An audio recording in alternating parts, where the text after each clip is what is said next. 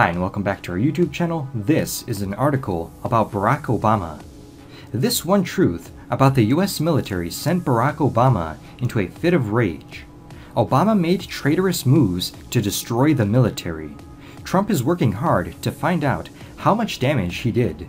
This one truth about the US military sent Barack Obama into fits of rage. Obama tried his best to create a radical new social order in America, and he decided that he could use the armed forces that were under his control as his guinea pig. Obama made moves to decrease the size and spending of the army to make it more cost effective, but at the same time, he added $8.588 trillion to the national debt. He spent trillions of dollars trying to get Americans jobs, at the same time that he was asking the military to cut jobs. What he did defies simple logic. But he wasn't thinking about what was best for America. He was looking at his chances of re election and saw a way to please his radical leftist base. In 2016, he made another move that undercut the military's strength. While gender integration could be a good idea, the way Obama implemented it wasn't fair in the least. A key part of the gender integration was updating physical and administrative screening standards.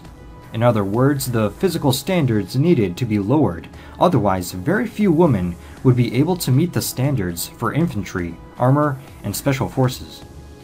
It's not fair to have a different standard for men and women, especially when you are putting them in life or death situations where physical weakness can be deadly. There are biological differences between men and women. Women, on average, only have half the upper body strength of men, which means that in general, female soldiers will be significantly weaker. But Obama is a science denier.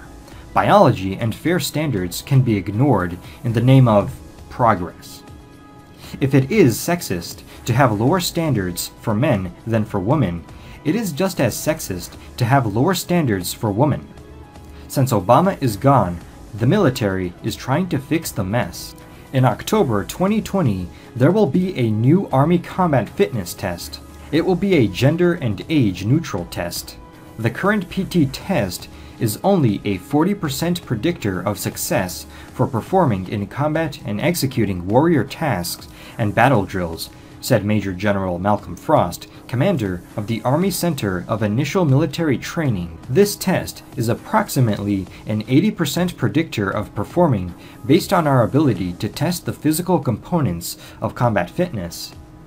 There is just one problem with a test that is gender blind, and it is making Obama and other liberals boil in anger. Leaked slides of Army physical fitness testing results went viral after being posted by an Army centered Facebook group.